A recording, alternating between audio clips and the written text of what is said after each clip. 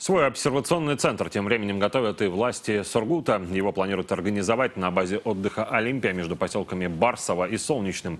Сейчас там завершается подготовка. Работают специалисты управления по делам гражданской обороны и чрезвычайным ситуациям города и сотрудники Роспотребнадзора. В том случае, если возникнет необходимость, люди, контактировавшие с заболевшим коронавирусной инфекцией, могут быть помещены на карантин именно в это учреждение. Подъезжает автобус, людей выводим и заводим здание. В этом здании, вернее, у нас здесь на территории расположено два таких здания. Одно здание 55 мест, второе здание 75.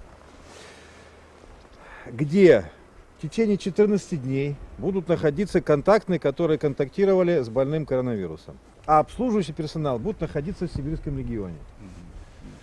Люди, которые э, сюда зайдут, они в течение 14 дней отсюда не выходят вообще.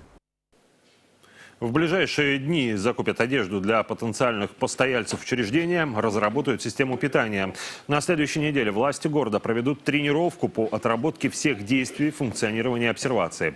Накануне на заседании санитарно-противоэпидемического совета рассмотрели вопрос о выделении дополнительного финансирования из резервного фонда мэрии. Сумма пока не называется.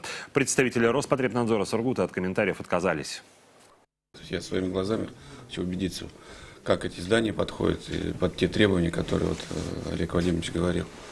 Вот. И, соответственно, э, вариант, который мы рассматриваем, это резервный вариант, и он имеет право на жизнь. Поэтому мы э, должны быть готовыми в любом случае.